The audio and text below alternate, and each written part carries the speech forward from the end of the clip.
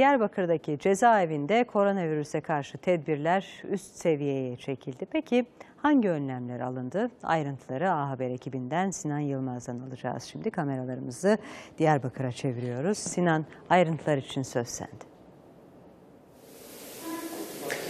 Tüm Türkiye'de olduğu gibi Diyarbakır'da da koronavirüs salgınına karşı tedbirler alınmış durumda.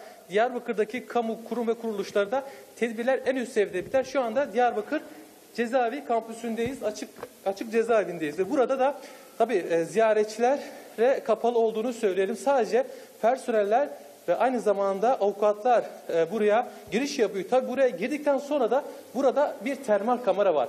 Bu termal kamera sayesinde buradaki personellerin, avukatların vücut ısısı ölçülüyor ve bulunduğumuz bu noktada burada bilgisayar var. İşte bu bilgisayarda vücut ısısı yüksek olan bir personel veya bir avukat var ise hemen alarm veriyor ve burada hemen ben şimdi geçeceğim kamera karşısında şu anda kamera beni görüyor ve vücut ısımı, ısısımı, ısımı tespit etmeye çalışıyor.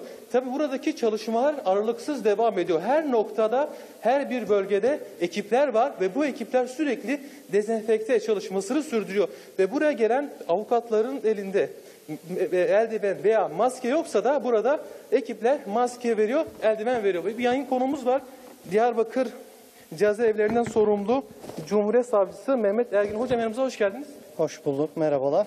Evet, burada e, başka ne tür tedbirler alıyorsunuz? Ee, öncelikle giren e, ceza infaz kurumuna giriş yapan e, bütün e, tutuklu, hükümlü, personel, mahkum yakınları olsun hepsine maske ve eldivenlerimizi veriyoruz. E, ayrıyeten e, kurumlarımızda dezenfekte işlemlerini yapıyoruz. E, aynı şekilde koğuşlarımıza da e, mahkumlara e, çamaşır suyu ve e, deterjanları temizlikleri için veriyoruz. Kendimiz de günlük ve düzenli olarak temizliklerimizi yapıyoruz. Aslında bir algı var dışarıda özellikle bazı e, sosyal medya olsun veya bazı e, e, basın yayın organları olsun cezaevlerinde hiçbir ölüm anılmadığını söylüyorlar. Bunlar şu anda gerçek olduğunun ispatıdır. Ee, aslında bu haberler gerçeği yansıtmıyor. Biz her türlü e, önlemimizi almış bulunmaktayız. Tedbirlerimizi almaya devam ediyoruz. Temizlik işlemlerimiz de günlük ve düzenli olarak devam ediyor. Tabii özellikle şunu söyleyelim. Hükümlerin ve tutukların e, ring araçları şu anda burada. Onlar da sürekli dezenfekte edildiğini paylaşalım. Aynı zamanda personellerin kullandığı servis araçları günde 3 kez düzenli ve sürekli dezenfekte ediliyor. Ve buradaki ekipler de gönüllü olarak dezenfekte çalışmasına katkı sağlıyorlar. Bakın şu anda ekranlara geliyor. Hükümlerin ve tutukların sevkinde kullanılan ring aracı şu anda dezenfekte ediliyor.